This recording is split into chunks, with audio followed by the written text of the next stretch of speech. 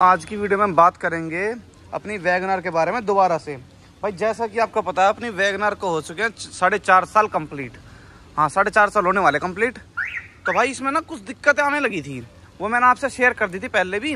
लेकिन ना भाई, अब पता है इसमें ना मेजर दिक्कत आई है कोई। अब मेजर दिक्कत साढ़े चार साल में कैसे आ सकती है? और भाई, ये चली भी कितनी पता है कितनी है? मात्र पच्चीस हज़ार किलोमीटर चली है। और इसमें आ गई मेजर दिक्कत। मैं दिखाता हूँ कितनी चली है ये। और किसी को विश्वास ना हो तो।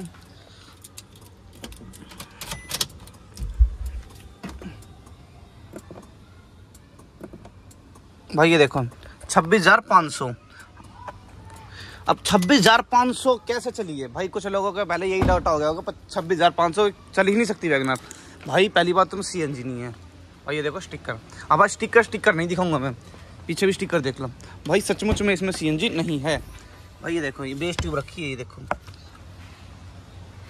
गिर गया था भाई। तो भाई, इतने से मैं ऐसी क्या दिक्कत आ गई जो मेरे को वीडियो बनानी पड़ रही है? भाई, दिक्कत मेजर ही है, पर ना कोई भी वीडियो नहीं बनाता। सबसे पहले, भाई, इसमें मैं बात करूँ, क्या दिक्कत है? भाई, मैं ना जैसे गाड़ी चलाता था ना फील करता था, पहले नई नई गाड़ी थी, जब इसमें वाइब्रेशन नहीं आती थी इतनी। अब जैसे जैसे ना, थोड़ी पुरानी हुई ना ये, अब अब इस टाइम पे इसमें वाइब्रेशन ज़्यादा हो चुकी है। अब उसका कारण मेरे को पता नहीं लगा वाइब्रेशन मैंने कहा टायर वगैरह से आ रही होगी, चलते रहे। फिर मैंने ना नोटिस करा, खड़ी गाड़ी में भी वाइब्रेशन बन रही है। तो भाई खड़ी गाड़ी में वाइब्रेशन बनना कोई अच्छी बात नहीं है। अंदर हैंडल तक में वाइब्रेशन आ रही है गेयर तक में वाइब्रेशन आ रही है।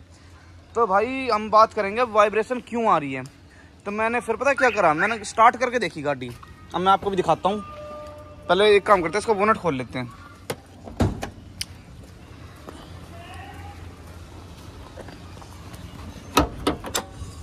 ये लो यार स्टार्ट कर जाती ले। सेल्फ मारी तू। सेल्फ मारी हो। अब ये देखना भाई इंजन की वाइब्रेशन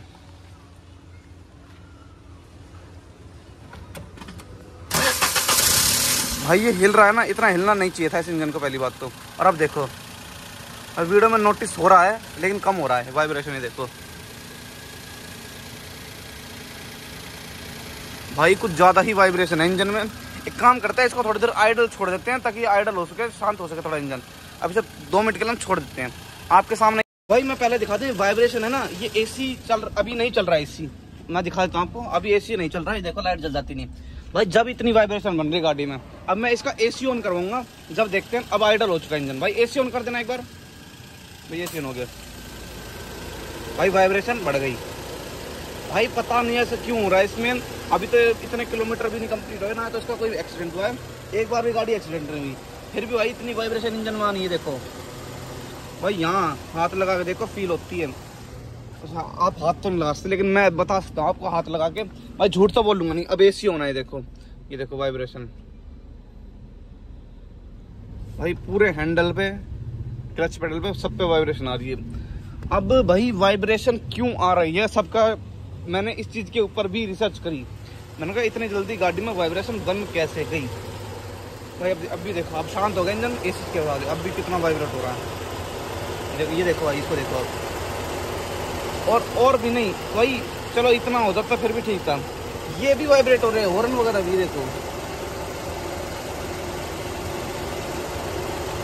ये देखो, अब पकड़ दिया अब ठीक है। अभी देखो हॉर्न तक वाइब्रेट कर रही गाड़ी। अब तो भाई वाइब्रेशन तो खाइए मैंने औरों की गाड़ी में इसलिए कंफर्म करने के लिए, मैंने दूसरी गाड़ी में भी देख लिया, भाई किसी वैगनर में जो सेम पेट्रोल थी सेम इंजन का भाई उसमें इतनी वाइब्रेशन नहीं है। अब मैं इसको मैकेनिक के पास अब तक नहीं ले गया। उसका एक मेजर रीज़न था। पहले मैं सोच रहा था इसको एजेंसी में दिखा लें। भाई, अभी गाड़ी अंडर वारंटी है। अभी इसको साढ़े चार साल ही हुए हैं, पाँच साल कंप्लीट नहीं हुए हैं। मैंने इसकी एक्सटेंडेड वारंटी ले रखी थी। तो भाई, पहले इसको दिखाएँगे हम एजेंसी में। अगर एजेंसी वाले बोलते हैं इतनी वाइब्रेशन होती है तो मैं उनकी गाड़ी कोई शोरूम में खड़ी होगी या सर्विस सेंटर में खड़ी होगी, उसमें चेक कर लूँगा, उन्हें चेक करा दूँगा। अगर इतनी वाइब्रेशन उसमें मिलती है तो तो भाई, मैं सीधे सीधे घर आ जाऊँगा। लेकिन अगर उतनी वाइब्रेशन नहीं मिलती तो भाई, देखेंगे क्या फॉल्ट मिलता है। अब मैंने ना अपने लिए रिसर्च करी थी कंपनी जाने से पहले तो मैंने रिसर्च करी। मैंने क्यों वाइब्रेशन आती है? मैंने यूट्यूब पे भी दो चार वीडियोस देखी। उन वीडियोस को देख के मेरे को पता लगा कि वाइब्रेशन के चार कारण होते हैं। चार कारण, सबसे पहला कारण। अगर आपकी गाड़ी सीएनजी की है तो चार साल बाद इतनी वाइब्रेशन बिल्कुल नॉर्मल है। अगर आपकी गाड़ी सीएनजी की तो वाइब्रेशन आ जाती है। अगर दूसरा कारण, या तो इंजन माउंट ख़राब हो, तब वाइब्रेशन आती है। अब हम इंजन माउंट का ही, मेरे को इंजन माउंट का ही डाउट लग रहा है। इंजन माउंट से ही वाइब्रेशन आ जाती गाड़ी में। तीसरा पॉइंट गियर माउंट खराब हो। हाँ इंजन माउंट था गियर माउंट होता। अगर वो ख़राब हो जाए तो भी गाड़ी में वाइब्रेशन बन जाती है। और चौथा रीज़न या तो कोई इंजन में फॉल्ट हो। भाई, इंजन में फॉल्ट तो है नहीं। एक रीज़न क्लियर अब या तो इंजन माउंट या फिर गियर माउंट इन दो में हो सकती है। और बाकी जो पहला रीज़न है वो तो है ही नहीं, क्योंकि वो भी सीएनजी में। दो रीज़न हो चुके हैं कट अब भाई, दो रीज़न बचते हैं कि क्यों वाइब्रेशन आ रही होगी। तो भाई, आप सजेशन दो, मैं इसको बाहर ठीक करा लूँ या कंपनी जाके? भाई देखो वारंटी है, क्या पता रबर पार्ट वारंटी में कंपनी ना कवर करे। ये बहुत बड़ा डाउट है मेरा। और मैंने दिखाई, दिखाने के तो वैसे कोई चार्जेस नहीं होंगे कंपनी में। दिखाने के एक भी रुपये नहीं लेगी कंपनी देखी मैंने।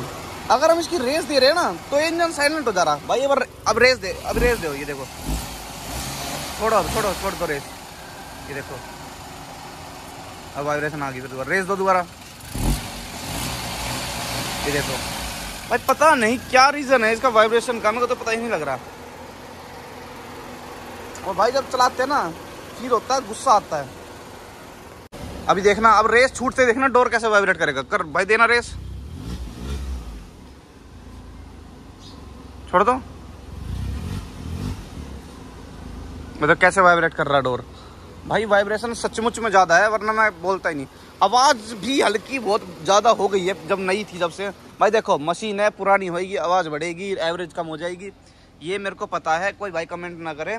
लेकिन भाई वाइब्रेशन नहीं आनी चाहिए इंजन में, चाहे कितनी पुरानी गाड़ी हो जाए। अगर या तो कोई इंजन में काम हुआ हो, या एक्सीडेंट हुआ गाड़ी हो, जब भी वाइब्रेशन बननी चाहिए, इसके अलावा वाइब्रेशन इंजन में बननी ही नहीं चाहिए। और वैसे भी तो पच्चीस हज़ार चलिए पच्चीस हज़ार में कहाँ ही वाइब्रेशन आ जाएगी? तो भाई कंडीशन देख लो वैसे गाड़ी की आप। कंडीशन से भी ऐसा लगता है पच्चीस हज़ार ही चलिए गाड़ी। नहीं, छब्बीस हज़ार पाँच सौ। भाई, मैं करेक्ट करूँगा अपने आप को ही। छब्बीस हज़ार पाँच सौ। भाई, अंदर से भी बिल्कुल नई टिच पड़ी गाड़ी। कहीं से कुछ नहीं है। और भाई अलग सही मॉडल है। मैंने बाहर से लगा रखा भी एक सही का भाई, गाड़ी वगैरह देख लो, बिल्कुल नहीं पड़ी अंदर से तो। अंदर बाहर से बिल्कुल टिच है गाड़ी। बस ये वाइब्रेशन ने दिमाग ख़राब कर रखा है। एक बार दोबारा बंद करके दोबारा चालू कर। अब इंजन गर्म हो गया। बंद कर।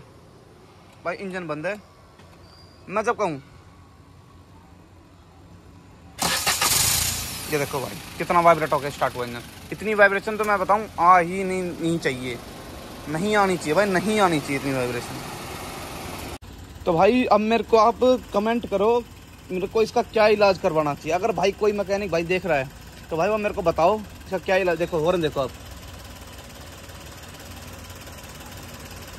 अगर कोई भी मैकेनिक भाई देख रहा है, भाई उसे मेरे को रीज़न बताओ क्यों आ रही है वाइब्रेशन तो भाई कोई भी मैकेनिक भाई देख रहा हो तो मेरे को बताओ। अगर मैकेनिक ना देख रहा हो या कोई जिसको ज़्यादा पता हो गाड़ी के बारे में, भाई वो भी कमेंट कर सकते हैं। भाई गाड़ी से तो मैं परेशान नहीं हूँ। गाड़ी तो नो डाउट बहुत अच्छी है वैगनर भाई वैगनर वाला बंदा ना, जब शोरूम में जाता ना, एक दूसरी गाड़ी को नज़र भी नहीं मारता। सीधे वैगनर की बुकिंग कराता और घर आ जाता सीधे। इसलिए मैं कह रहा हूँ, इंजन, भाई मारुति का कोई लाजवाब बिल्कुल मस्त इंजन है। बाकी भाई रबड़ पार्ट्स हैं, ख़राब हो जाते हैं चार साल में वी आर एंड टीयर में। लेकिन इंजन का आज तक एक भी परसेंट काम नहीं हुआ इसका, और ना गाड़ी कभी लगी है। भाई प्रॉपर सर्विस रिकॉर्ड है मेरी गाड़ी का। तो भाई, इस वीडियो का आज हम यहीं ऐड करते हैं। भाई, जिसको अच्छी लगी हो वीडियो और कोई मेरे को सजेशन देना चाहता हो, भाई कमेंट खुला है। ज़रूर देना सजेशन मैं आपके सजेशन का इंतज़ार करूँगा। Thanks for watching